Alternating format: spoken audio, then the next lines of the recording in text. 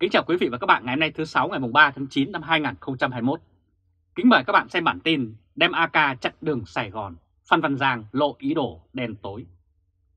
Chống dịch trên thế giới chưa có nước nào đem súng AK để chống dịch như ở Việt Nam. Việc chống dịch là vấn đề thuốc men và tuân thủ quy định giãn cách. Tuy nhiên, chính quyền của Đảng Cộng sản Việt Nam lại cho lính tráng mang súng AK đứng giữa đường phố Sài Gòn xét giấy đi đường của dân. Theo khuyên cáo từ xưa đến nay, thì người đeo khẩu trang và giữ khoảng cách hơn 2 mét là ngăn cản Covid lây lan mạnh hơn. Thực tế là người đi đường luôn giãn cách nhau hơn 2 mét. Tuy nhiên, nếu chặn người thì có thể tạo nên hiện tượng dồn cục người dân, ách tắc và đây là môi trường lây lan lý tưởng cho đại dịch này. Công tác chống dịch của chính quyền sản Việt Nam ngày càng tỏ ra vô tác dụng.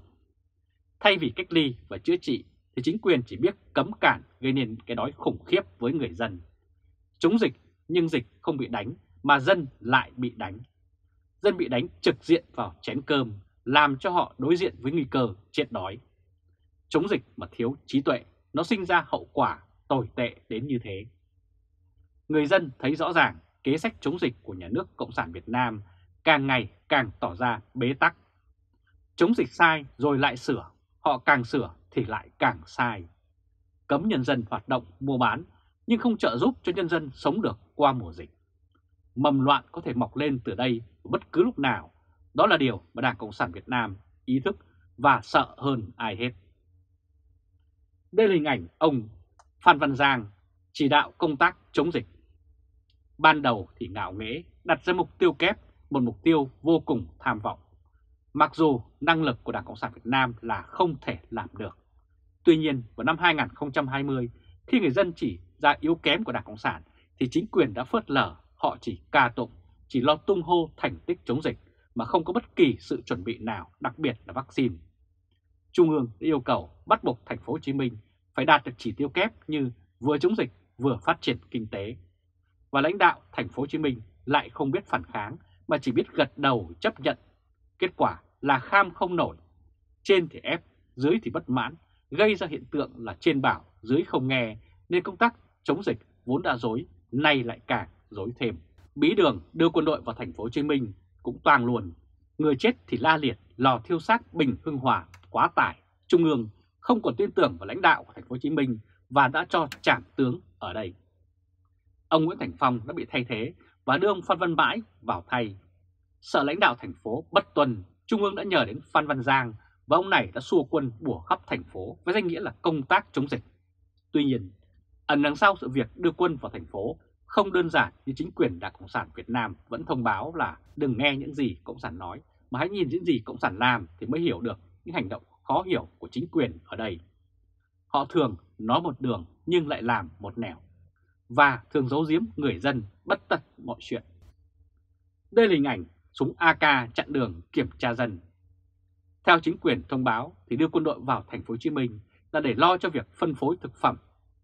Đây là việc làm tựa như bắt cá leo cây, vì bản thân những người quân nhân được huấn luyện để cầm súng, không được huấn luyện để làm công tác của các shipper, tức là chuyên hàng, chuyển hàng chuyên nghiệp. Mà nếu người lính không đảm bảo công tác đi chợ thì người dân bị đói là điều khó tránh khỏi. Ngoài ra, các đường phố của Sài Gòn hết sức ngóc ngách, khi không thông thạo địa bàn thì rất dễ bị lạc, tìm kiếm không ra.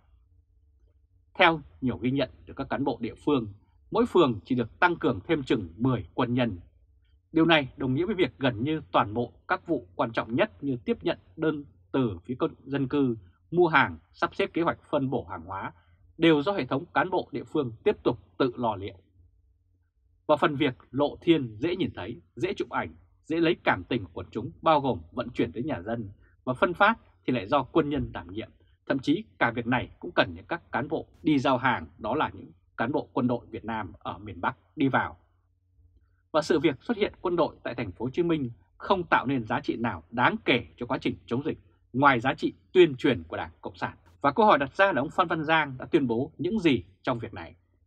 Vào ngày 23 tháng 8, ông Phó Thủ tướng Lê Văn Thành và Bộ trưởng Bộ Quốc phòng Phan Văn Giang có buổi thăm và làm việc với Bệnh viện Giã chiến số 5 đặt tại ký túc xá Đại học Quốc gia Thành phố Hồ Chí Minh. Ông Phan Văn Giang đã nói rằng đây là trận chiến không thắng không về. ông Phan Văn Giang đã xem trận chiến này như trận chiến chống giặc như vậy. Điều đặc biệt là ông cho quân lính mang súng AK lình kình đứng đầy đường để kiểm tra người đi đường. Việc mang súng AK không thể là để chống dịch được, vì súng AK không thể bắn con virus nó chết mà chỉ bắn và làm cho người dân tử vong mà thôi. Ngoài ra, chống dịch mà ông Phan Văn Giang đã đưa hàng đoàn xe bọc thép đi kèm và bắt người xe chở lính chạy rầm rầm vào ban đêm. Ban ngày, những toán lính AK đeo chéo rầm rập các chốt trong thành phố như thời chiến tranh. Và hệ thống báo chí tuyên truyền ra giả suốt ngày cái lệnh của nhà nước rằng thì là ai ở đâu ở yên đấy rằng là tất cả đã có đảng và nhà nước lo, vân vân. Đây là hình ảnh ông Phan Văn Giang tuyên bố không thắng không về. Cả thành phố, cả đất nước chẳng khác gì một chiến trường cả. Vác súng AK chống dịch làm nhiều nhà quan sát nghi ngờ về mục đích không lành mạnh của ông Bộ trưởng Bộ Quốc phòng Phan Văn Giang. Bởi vì nếu chống dịch chắc chắn chẳng cần quân đội mang theo vũ khí tràn vào thành phố đông nhiều như vậy để làm gì. Bởi với thành phố khoảng chục triệu dân này, số lượng lực lượng công chức cán bộ đã hơn triệu người, đủ sức để làm mọi việc phục vụ người dân ở đây nếu thật sự họ có trách nhiệm. Hơn một năm dịch bệnh, cả Sài Gòn chẳng có bóng dáng một bộ đội công an nào đi cứu trợ người dân. Nhưng lúc này quân đội âm ầm kéo đến mà thực tế thì không làm nên trò chống gì cả. Vậy thì việc nhà cầm quyền điều động hàng vạn quân chính quy, mấy vạn dân quân, dân phòng bao vây và kiểm soát thành phố, súng AK-55 hung hãn, dọa dẫm, thị uy để làm gì? Đối tượng của AK, của xe bọc thép, của xe bắt người, của công an, quân đội là lực lượng chống đối, chứ không phải là con virus. Vậy ai chống đối chính quyền ở đây? Và cho đến nay vẫn không có dấu hiệu nào cho thấy có đội ngũ, có nhóm nào chống đối lại cả. Và chống dân hay đe dọa đồng chí của mình, đây cũng là một câu hỏi. Ông Phan Văn Giang đã tuyên bố đây là một cuộc chiến không thắng không về. Tuy nhiên, việc thất bại trước con virus là rất rõ ràng. Vậy quân đội thắng ai? Chỉ có thể là thắng dân mà thôi. Thực tế là khắp nơi, người dân đã phản ứng vì bị đói, vì bị bỏ rơi, vì sự bất công, vì đồ cứu trợ đã bị cán bộ chiếm đoạt, chia chác lẫn nhau, không ai kiểm soát được. Và người ta tràn ra khỏi nhà, đi kêu cứu, kêu đói. Sợ dân bần cùng làm loạn. Đó là lý do Phan Văn Giang đã đưa quân đội vào thành phố với súng AK-55 trên tay, sẵn sàng bắn bỏ những người dân nào họ phản đối. Và quân đội cũng muốn kiểm soát từng người dân để không ai dám làm loạn. Đây cũng là một lý do ông Phan Văn Giang phải đưa quân từ miền Bắc vào Nam. Đây là hình ảnh quân đội đã phải trả lại vai trò shipper cho dân và trở về với vai trò kiểm soát dân. Tới chiều ngày 28 tháng 8 năm 2021, nhà cầm quyền Sài Gòn đã mời 25.000 shipper vào cuộc mang hàng hóa cho người dân. Như vậy là những người lính đã trở nên vô dụng.